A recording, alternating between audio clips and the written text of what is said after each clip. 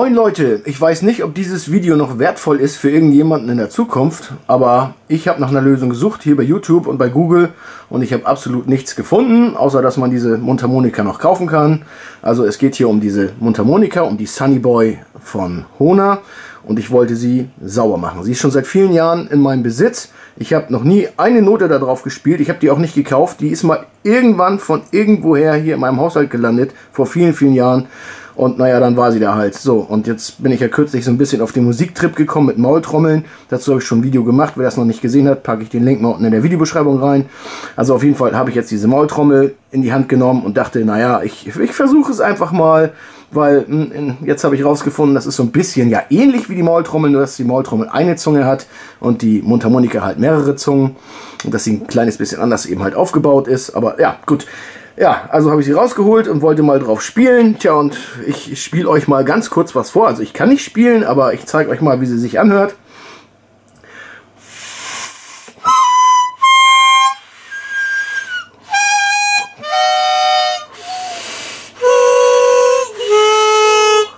Puh, also ganz schrecklich. Eigentlich überhaupt nicht mehr. Sie ist komplett dicht, spielt überhaupt nichts mehr.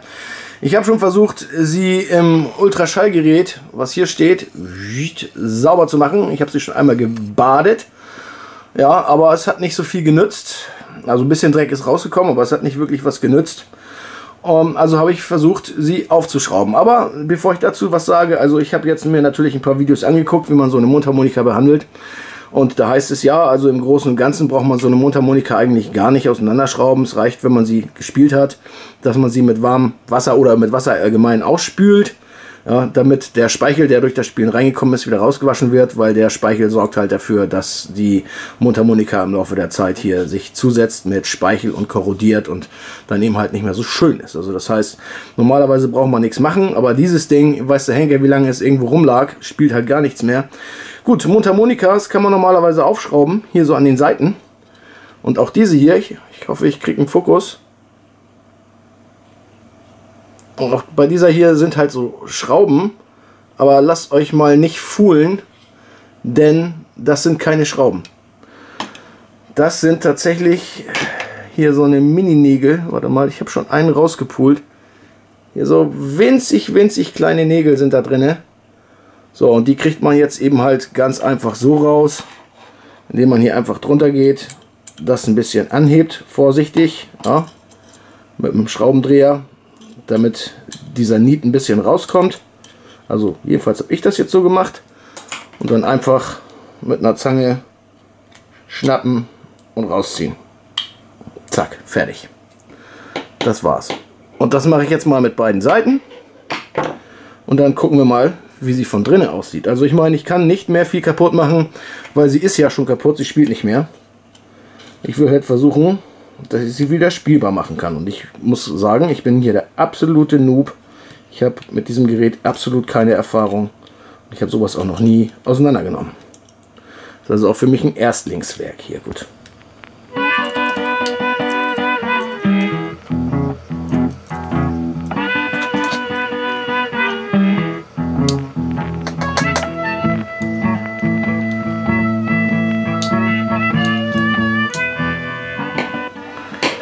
So, ich habe alle vier Nägel raus. Jetzt kann ich die Seiten abnehmen. Hoffe ich.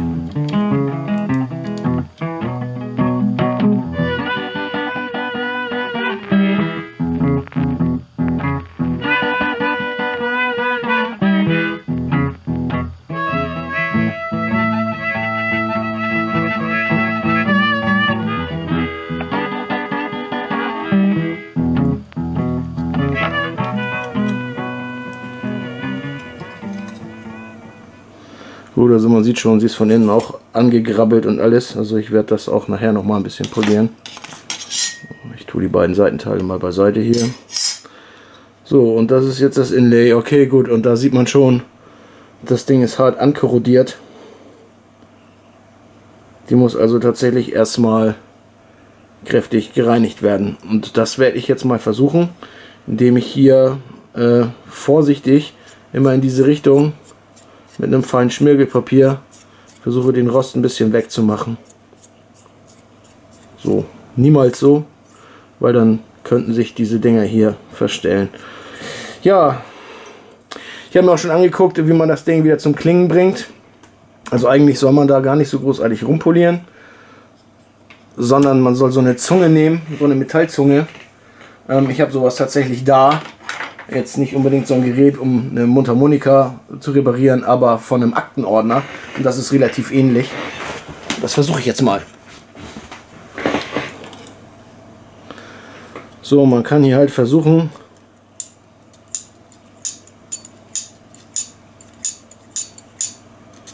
Und ja, man hört schon, hier geht gar nichts. Ne?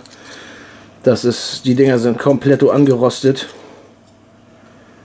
Ja, naja gut. Ähm, ich werde das hier mal mit dem Schmirgler versuchen. Mal sehen, wie weit ich komme. So, ich habe jetzt so ein bisschen 200er Schmirgelpapier. Und damit werde ich das jetzt einfach mal probieren.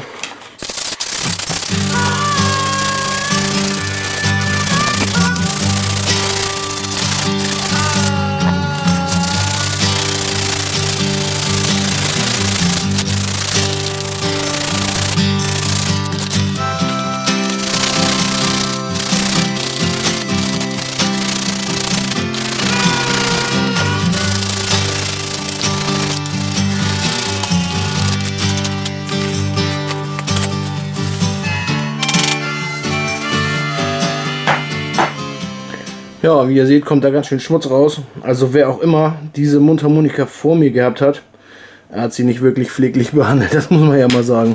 Ich meine, ich habe sie gar nicht behandelt, in meinem Leben nie benutzt, aber vielleicht, wenn sie spielt, vielleicht ändert sich das ja noch. Na gut.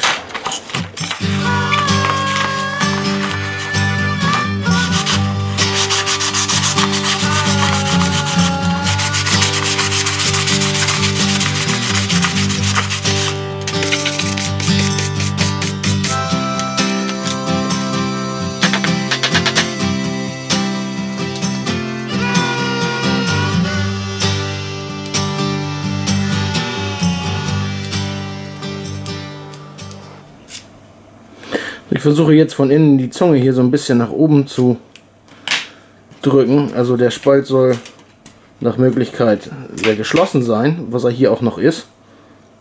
Aber ich sollte schon in der Lage sein, mit so einem dünnen Plättchen da unterzukommen, um das Ding hier klingen zu lassen. Und sollte es nicht klingen, so hat es in anderen Tutorials geheißen, soll man das halt auch gerne nochmal zehnmal oder was wiederholen, bis es wieder klingt. Also, was heißt klingt, ne? Aber so dieses Blick, was ihr jetzt gerade schon gehört habt, das war schon gar nicht ganz so falsch, glaube ich.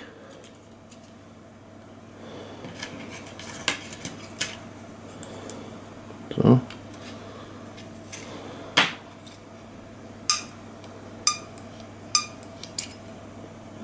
Plock, plock, plock. Hier bei dem zweiten kann man es nicht. Das ist hier irgendwie anders geregelt. Da geht sie irgendwie nach innen. Aber das ist ja auch okay. Ich darf nur nicht zu doll drücken. Nicht, dass ich es zu weit nach innen rein drücke und der Spalt zu groß wird.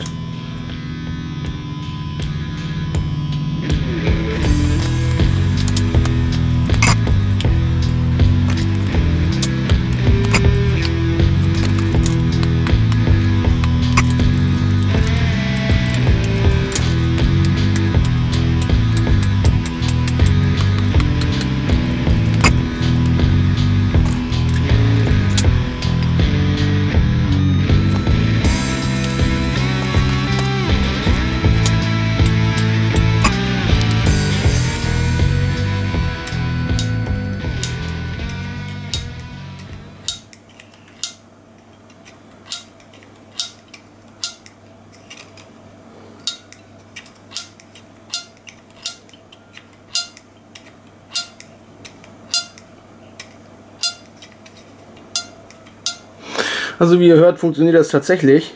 Aus einem sehr stumpfen und dumpfen Ton wird, nachdem man die Zunge hier drinnen ein bisschen bewegt hat, doch wieder ein einigermaßener Ton. Sehr erstaunlich. Plock.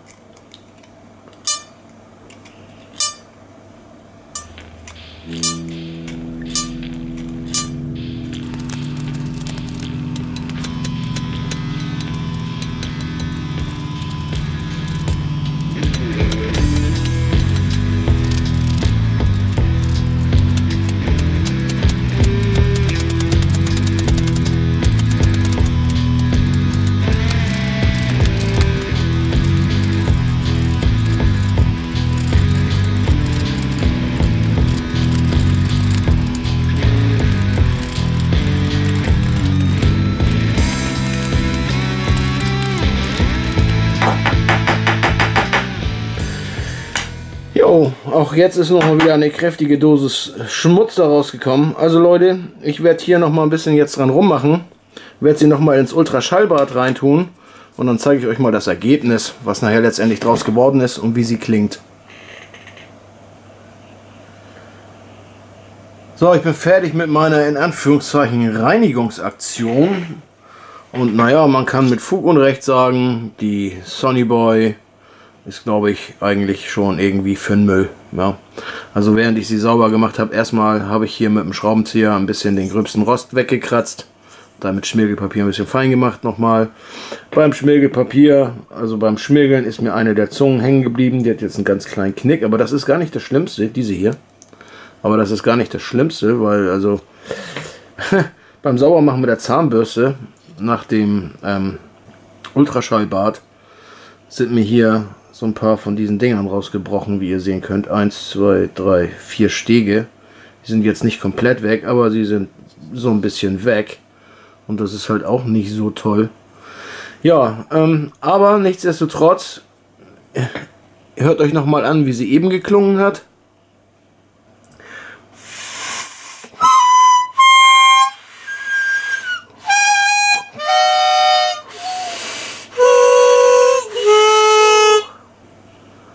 Und so klingt das Ding jetzt.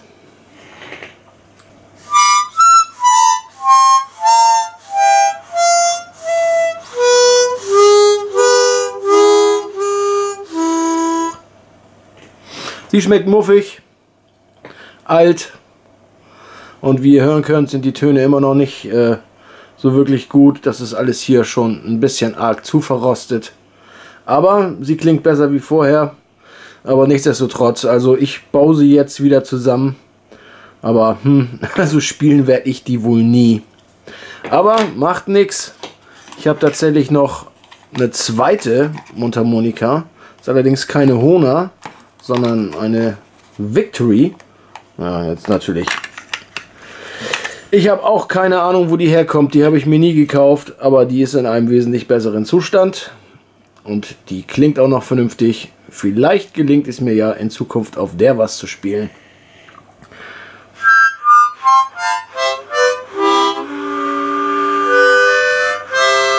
Ja, also hier funktioniert noch alles einwandfrei. Ich denke, mit dem Ding werde ich mich, wenn überhaupt, in Zukunft auch noch beschäftigen. Ja, eigentlich wollte ich euch nur zeigen, wie man hier die Verblendung abnimmt. Jetzt habe ich herausgefunden, dass das ganze Ding total im Sack ist. Aber trotzdem danke, dass ihr zugeschaut habt. Ich hoffe, es hat euch ein bisschen gefallen und vielleicht dem einen oder anderen hilft es ja auch in Zukunft noch. Jetzt weiß er, dass diese Schrauben an der Seite nicht rauszuschrauben sind, sondern das sind kleine Nägel. Ja, und das war's. Dann bis zum nächsten Video, Leute. Einen schönen Tag noch.